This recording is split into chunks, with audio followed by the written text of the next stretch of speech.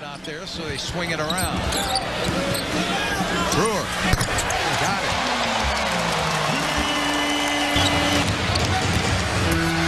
Prigioni. Demo. Brewer.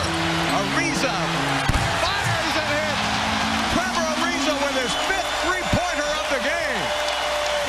And the Rockets up by five. Rivers in traffic, lost the ball to Smith. Up ahead to Prigioni. Back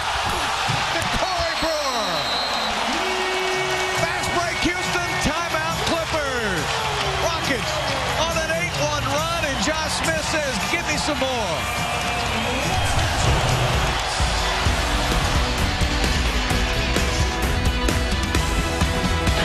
Ariza tries to pick him up. Crawford takes it inside and is blocked by Josh Smith. Brewer's off to the races. Lays it up and in. Oh, it starts at one end with a Josh Smith block. How is that not a foul? Rockets crowd really into it. Wants defense. Six. Rivers takes it in and is blocked by Smith. All right, Motiejunas. And Brewer with a three. Corey Brewer.